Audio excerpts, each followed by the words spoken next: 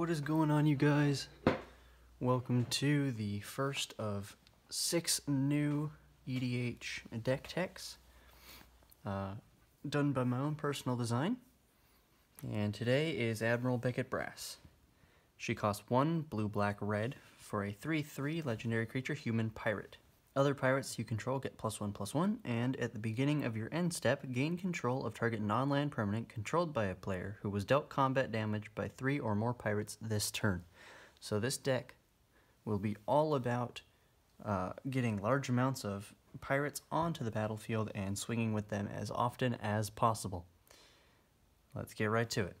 So what I've got here to start is all of the pirates in the deck. I don't know if you can see how sizable the stack is of just pirates, but I'm going to go through them and uh, see how it goes. So first up, we've got Shipwreck Looter, one in a blue for 2-1. Pirate with Raid. Uh, when it enters the battlefield, if you attack with a creature this turn, you may draw a card. If you do, discard a card. So, looter, literally. Looting is the mechanic for. Draw a card, discard a card that kind of thing. Next card, Deadeye Plunderers. Three a blue and a black for a 3-3 pirate. Gets plus one plus one for each artifact you control. And you can pay two a blue and a black to create a colorless treasure artifact token that will tap that will sacrifice to add any color mana to your mana pool. Fathom Fleet Captain, one and a black for a 2-1 with Menace. Uh, when it attacks, if you control another non-token pirate, you may pay 2. If you do, create a 2-2 black pirate creature token with Menace. If you have enough mana, you can just go crazy. Stormfleet Pyromancer, 4 and a red for a 3-2 human pirate wizard. Uh, raid, when Stormfleet Pyromancer enters the battlefield, if you attacked with a creature this turn, Stormfleet Pyromancer deals 2 damage to target creature or player, so it's a shock on a 5 mana stick. You got Rigging Runner, one red for a 1 1. First strike, when it, it enters the battlefield with a plus one plus one counter, if you attacked with a creature this turn. That's the entirety behind Raid. There's a lot of that in this deck because I felt it was ideal if you're going to be swinging a lot like this deck wants to. You have Lookout's Dispersal, 2 and a blue, cost 1 less to cast if you control a pirate. Counter target spell unless its controller pays 4 nobody really wants to pay for, so that's why Countervailing Winds is so good in the right deck. That kind of thing. Marauding Looter, 2, a blue and a red for a 4-3 pirate. At the beginning of your end step, if you attack a creature this turn, you may draw a card. If you do, discard a card. More looting. Looting is fun. Because pirates. Brazen Freebooter, 3 and a red for a 3-3. When it enters, create a treasure. Fairly simple. Dire Fleet Captain, a black and a red for a 2-2 Orc Pirate. When it attacks, it gets plus 1 plus 1 until end of turn for each other attacking pirate. Note, it just says each other attacking pirate. This includes all the tokens you can make off of that other guy. That's pretty cool. Sailor of Means, two and a blue for a 1-4 human pirate when it enters. Create a treasure. That's like the uh, Brazen Freebooter, but cheaper. So that's nice. Desperate Castaways, one and a black for a 2-3, cannot attack unless you control an artifact.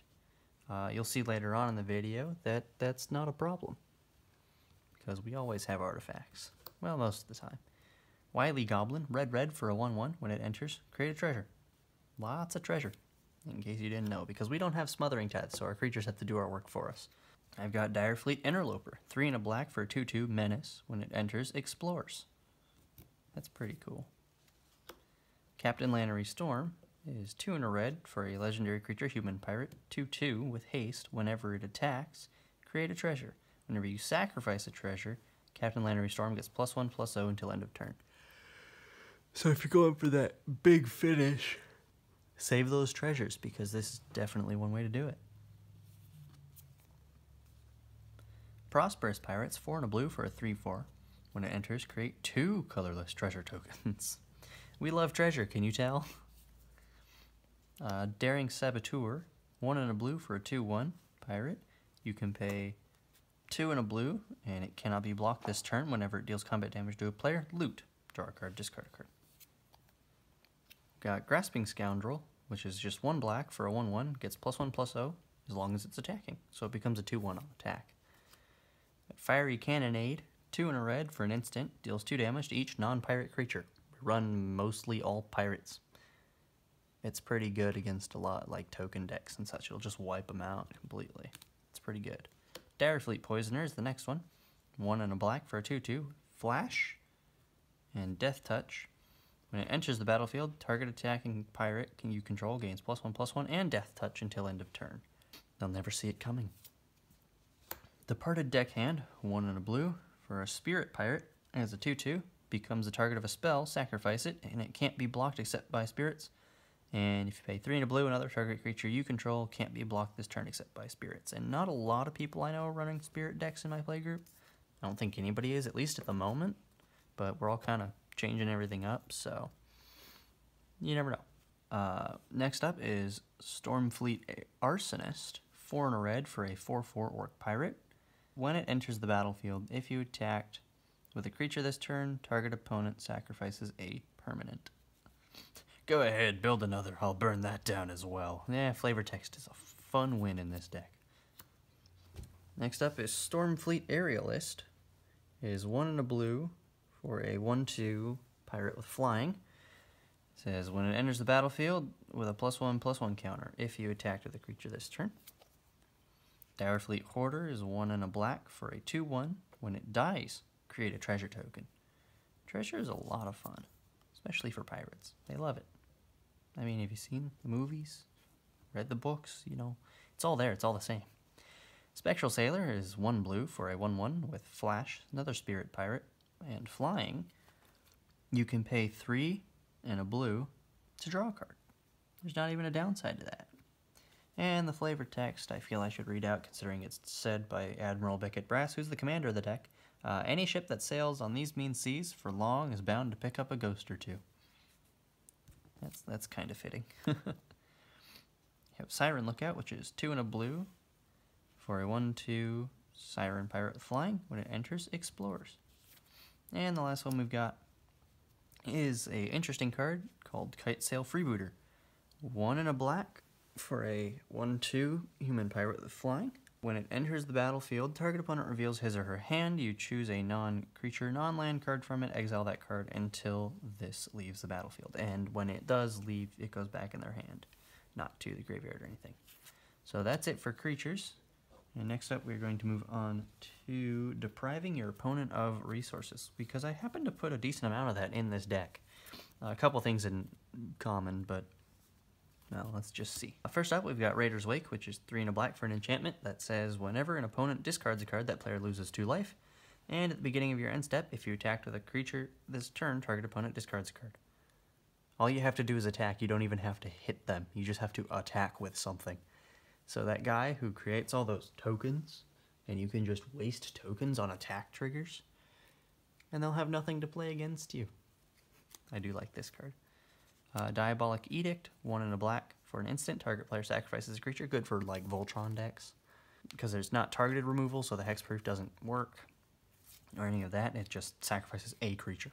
So if they only have the one Voltron creature out, generally their commander, it just goes away. Problem solved for two mana. I do like that. Uh, we've got Vicious Rumors, one black for a sorcery. Deals one damage to each opponent. Each opponent discards a card, and each opponent mills one, and you gain one life. That's very nice. Mind Rot, two and a black for sorcery. Target player discards two cards. Heartless Pillage, two and a black for sorcery. Target opponent discards two cards, but it has raid. If you attack with a creature this turn, create a treasure. You have Thought Erasure, a blue and a black for a sorcery. Target opponent reveals their hand. You choose an online card from it. That player discards that card, and you can surveil one. The next card I've got is Skull Rend, three, a black and a red for a sorcery. Uh, Skull Rend deals two damage to each opponent. Those players each discard two cards at random. And if that wasn't enough depriving of resources from hand, I have Descent into Madness, which I tested out some time ago and it can get kind of insane. Uh, it is three black black for an enchantment. At the beginning of your upkeep, put a despair counter on Descent to Madness. Then each player exiles X permanents he or she controls and or cards from his or her hand, where X is the number of despair counters on Descent into Madness. Note this says each player, so that includes you, but at this point you should have enough stuff. Even treasure tokens, really, to suffice for this. If it gets up to like four, or anything really bigger than four, this card is just broken because they'll they'll have nothing left. Unless it's like a token deck or anything like that. I, it, it, this gets crazy. My friends aren't a huge fan, but I love this card, so that's why I play it. Uh, next up, we're going to go through equipment, because pirates love scavenging for stuff and finding new gear. So I've got Mask of Memory, 2 mana for an equipment. Whenever equipped creatures deals combat damage to a player, draw 2 cards. If you do, discard a card. Equip cost of 1. I've got Scavenged Blade, 1 and a red for uh, equipment. When it enters the battlefield, attach it to target creature you control. So you don't even have to pay the equip cost. It just attaches, which is kind of nice. Uh, gets plus 2 plus 0, has an equip cost of 3. Uh, you've got Dowsing Dagger, which is the best equipment in the deck. It is 2 mana. Enters the battlefield, target opponent creates 2 0 2 green plant creature tokens with Defender. Equipped creature gets plus 2 plus 1. Whenever equipped creature deals combat damage to a player, you may transform Dowsing Dagger. It's got an equip cost of 2. And if we transform it momentarily, there we are, it turns into Lost Vale, which is essentially Gilded Lotus uh, on a land, so it's harder to deal with. Unless somebody's running, say, Armageddon or, I don't know, Tron? I really don't know. Next up is, there we go, Pirate's Cutlass. Three mana for an equipment. When it enters the battlefield, attach it to target pirate. All of our creatures are pirates. It goes for free. creature gets plus two, plus one, equip cost of two. And the last equipment in the deck is Malefic Scythe. I don't know if I'm saying that right. Ma male, malefic, Ma malefic, malefic. I don't know. Malefic Scythe. One in a black for an equipment. When it enters the battlefield with a soul counter on it. Equipped creature gets plus one plus one for each soul counter on Malefic Scythe. Whenever equipped creature dies, put a soul counter on Malefic Scythe. So your creatures will get bigger and bigger and bigger every time another one dies and you go to re-equip. Next up, we've got artifacts, starting with Witching Well. When it's just one blue, when it enters Scry 2, you can pay 4, sacrifice it, draw 2 cards. Got Rakdos Locket, which is fairly simple. Uh, 3 mana, artifact, tap, add a red or black. You can add 4, tap it, sacrifice it, draw 2 cards. Manalith, 3 mana, taps for 1. Talisman of Creativity, 2 mana.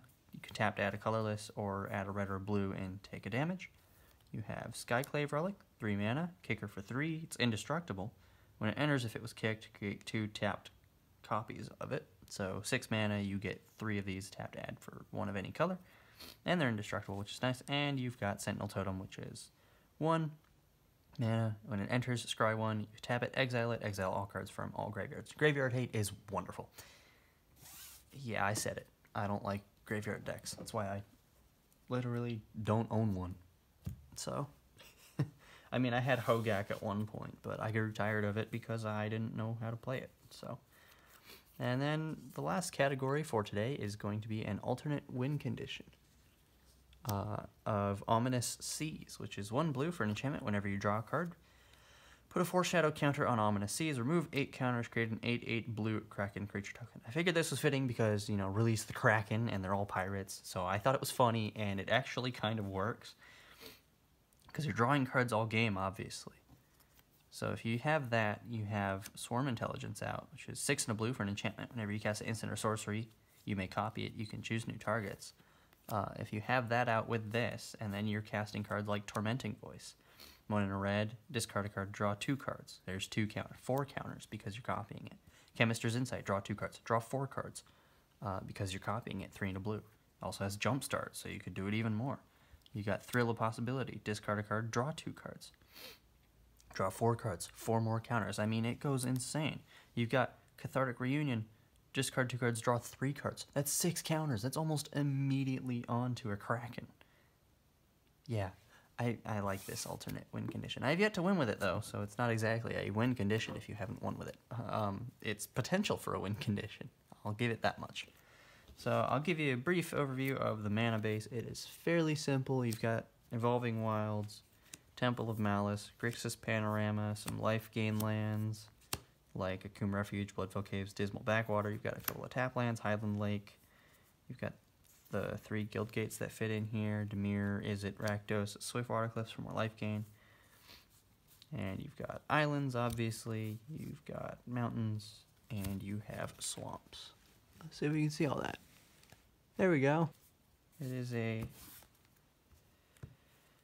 fairly simple, uh, in-depth deck tech for Admiral Beckett Brass with Pirate Tribal, the first of six in my new collection. So, I uh, hope you guys enjoyed, and uh, I hope next year goes really well and we can get some content rolling.